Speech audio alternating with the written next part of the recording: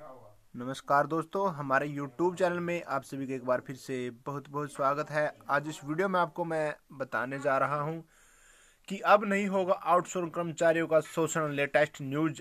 प्रदेश में आउटसोर्सिंग की भर्तियों में न सिर्फ़ आरक्षण नियमों का पालन करना होगा, बल्कि चयनित कर्मी को नियुक्ति पत्र भी मिलेगा। उन्हें मानदेय सहित सभी तरह के भुगतान, ऑनलाइन उनके अकाउंट में किए जाएँगे। आप यहाँ पे साफ़ साफ़ देख रहे हैं।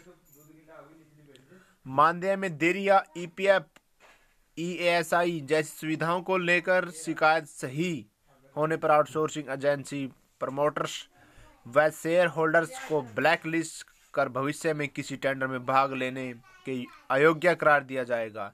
इसके लिए योगी सरकार आउटसोर्सिंग एजेंसियों के ज़रिए होने वाली भर्तियों में मनमानी और चयनित कर्मियों के शोषण शोषण पर रोक के लिए नई आउटसोर्सिंग एचआर पॉलिसी में इस तरह की कई महत्वपूर्ण जो बातें हैं वो डालेंगे। तो यहाँ पे आप देख रहे हैं, योगी सरकार का यह बड़ा फैसला आया है। इस बात को लेकर यूपी की यह खबर है। और आपको हमारी वीडियो अच्छी लगी तो लाइक करें, शेयर करें। वीडियो को ज़्यादा से ज़्यादा व्हाट्सएप पे देख रहे हैं तो व्हाट्सएप पे भेजिएगा, कहीं और देख और भेजिएगा फेसबुक पे देख रहे हो फेसबुक पे।